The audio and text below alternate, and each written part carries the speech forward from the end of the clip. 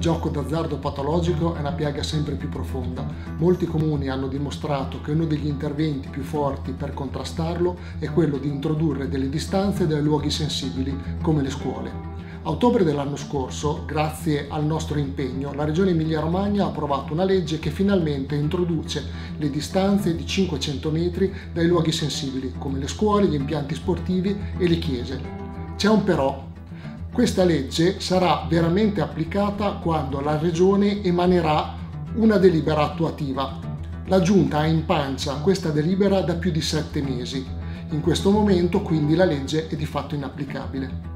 Di più, fra pochi giorni in conferenza unificata verrà approvata la proposta Baretta che di fatto smonta i poteri delle regioni e dei comuni riducendo la distanza al massimo di 150 metri. Chiediamo quindi al Presidente Bonaccini prendi le distanze dalla proposta del governo, perché anche l'Assemblea legislativa con una nostra risoluzione ha chiesto di difendere le distanze della Regione Emilia-Romagna e di difendere i poteri della Regione e dei comuni.